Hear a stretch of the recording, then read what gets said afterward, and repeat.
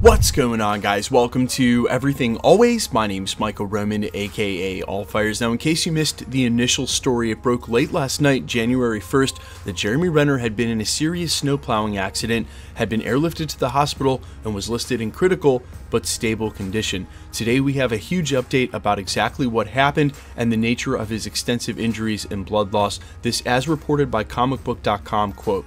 There are new reports regarding the injuries sustained by Jeremy Renner in a snow plowing accident on New Year's Day. The star of Hawkeye and the mayor of Kingstown was airlifted by helicopter to a hospital in the Reno, Nevada area on January 1st and was reportedly in critical condition.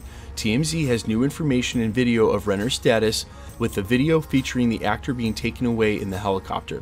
According to a neighbor, Renner was plowing the road outside his Tahoe home when the snowcat machine accidentally ran over one of his legs, resulting in heavy blood loss.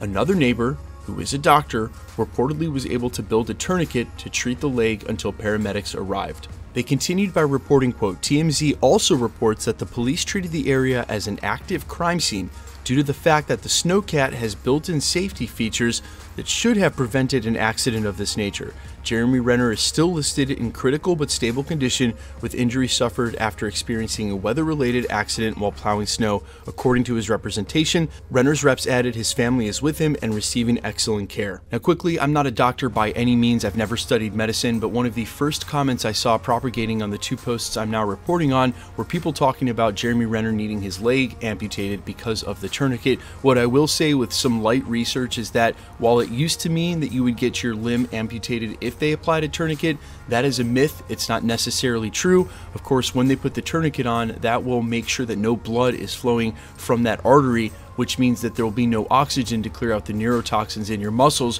which means muscle death can occur, but that's only after a substantial amount of time. So, bravo to his neighbor who was a doctor and, and got into action, probably saved Jeremy Renner's life, and hopefully they were able to get him to the hospital in time to avoid any further damage to his limb. Of course, that is all purely speculation, and even with these details, details are still limited, so we don't know exactly the nature of how bad he was when he got to the hospital or what's been going on since there. What we will say is that everybody everybody here at the channel, in the Marvel community at large, and around the world are wishing him a speedy and full recovery. Our positive vibes and prayers are being sent to you and your family, Jeremy. We hope you get better and get better soon. And guys, we will, of course, keep you updated with any updates that break today or in the coming days. Remember, the best way to support us here at the channel is to hit the subscribe button, leave a comment down below to be entered into our daily giveaways, and stick around. We'll be posting again real, real soon.